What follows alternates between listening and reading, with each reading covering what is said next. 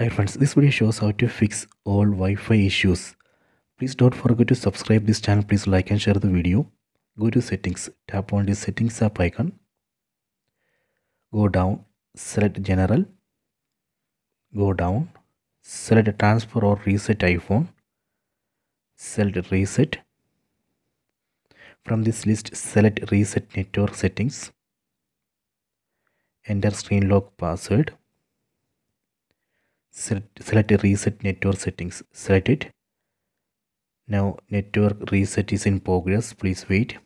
So this way we can reset network settings and fix all all wi-fi related issues. Wi-fi is not connecting or internet is too slow. In those situations you can try to reset network settings and fix those issues. Even if bluetooth is not working or mobile data is not working. In those situations also you can try to reset network settings and address those issues. Now phone is starting. Please wait. Okay ready. Let me log in. So this way we can reset network settings and fix all wi-fi issues. I hope you have enjoyed this video. Please subscribe this channel. Please like and share the video